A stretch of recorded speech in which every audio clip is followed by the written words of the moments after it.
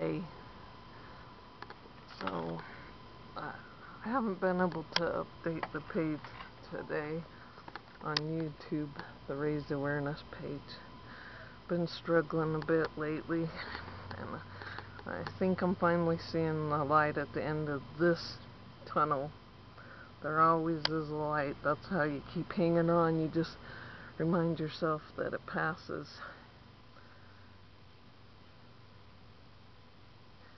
Until you go through the next time. And then you remind yourself again.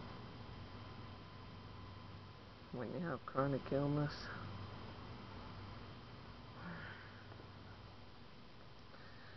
My most depressing times are when I get the fever. That's what's been going on.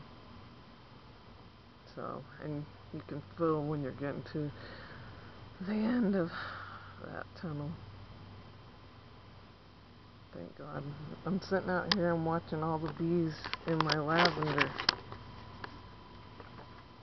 Let's see if you guys can see them.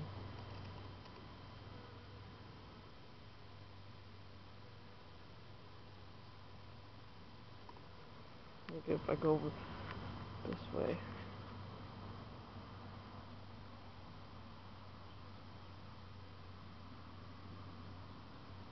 There's lots of bees.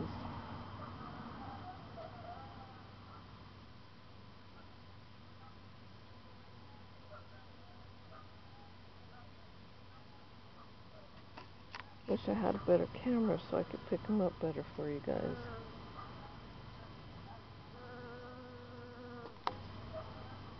That's really pretty.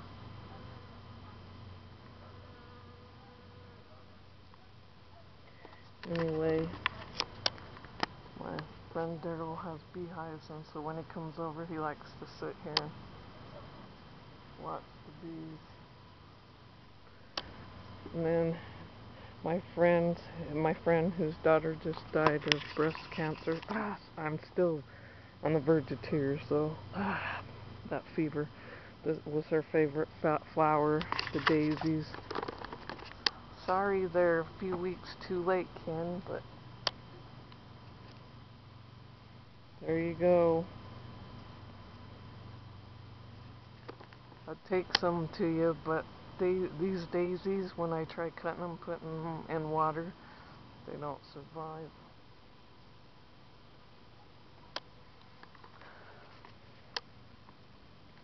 Oh, I'll show you. Look how pretty everything is right now. We've been in the 90s. These were earlier today were just yellow. Just yellow. Do you see how gardening and flowers are part of my survival? Sometimes it's about more about this than about all of this. Oh, wish the color was right. These are, I believe these are fragrant cloud. Everyone sniff.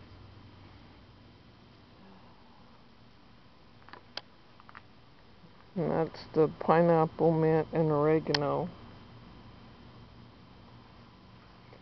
If anyone that lives by me wants some oregano, come and get some.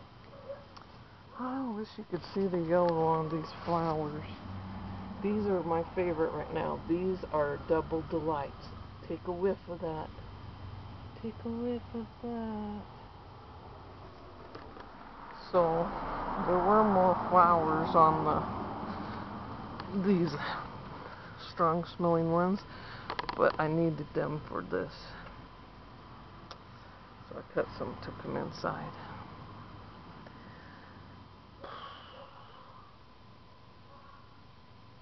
I gotta get stronger for when my youngest is out of the house. She's all grown up, you know. Gotta find reasons to keep carrying on when that happens. Don't take me wrong, guys. I'm just being honest. I'm just pouring my heart out and I'm just feeling emotional. Don't make me regret it, please, by being honest. Oh, none of the black hollyhocks have bloomed, by the way, so I still haven't got the black ones. I've got some dark red ones over there. Boob. Anyways, this one, no, I didn't have any inspiration to paint. So I had to get into movies this time. Whatever it takes to get you through each one is what I say. Well, not drugs, though. I don't think drugs would help too much. Oh, can you guys see him?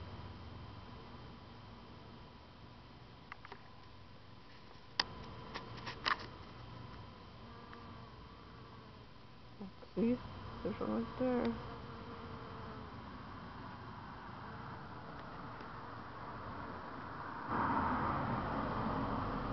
A lady just went by staring at me. I don't know my neighbors here because I'm, yeah. Oh well. Every once in a while when I cut lavender, neighbor kids come by and I give them to them to, take home to their moms if they want. That makes me really happy actually. I've been kind of wishing that some little kids would come over and ask me. Maybe they moved the ones that I gave lavender to last year. I don't know. I'm waiting for this to bloom all the way and then I'll cut it back, see how much sidewalk it's taken up. Awesome. It's not, today, I don't know if it's the fever or what. The fever was like crazy today, but anyways, it felt cooler to me today than it did yesterday. I think they were saying we were supposed to get up to like upper 90s.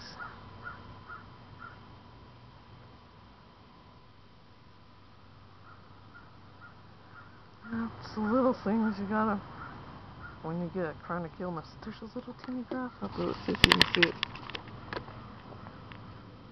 See it? This camera won't let me zoom in, but I can see it on there. If I get closer to it, then you it'll go blurry. I guess grasshoppers have little babies. But it's another thing with this illness is that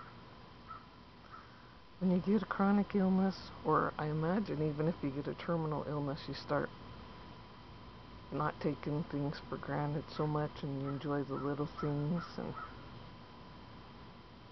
flowers and painting and time with my kids and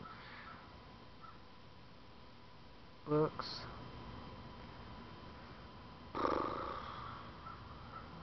What's also been kicking my butt, which in the past I've never really had problems with, is my daughter in the summertime goes with her dad every weekend since I have her all during the week. And if she gets a chance to go to her friend's house and play, I let her.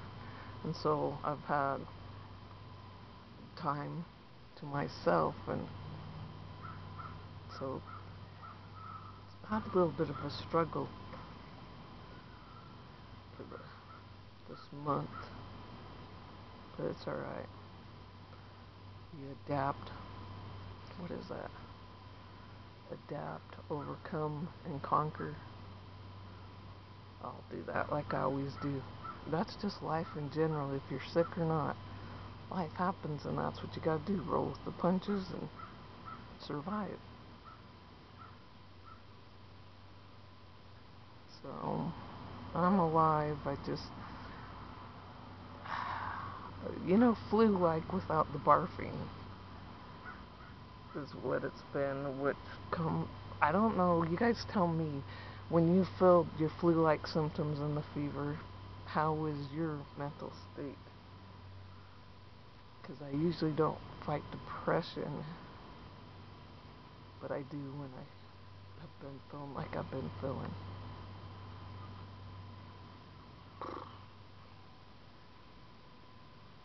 Like depression.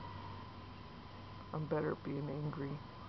I, I know I've probably said that a million times in videos, but I am. It's an Irish thing. I don't know.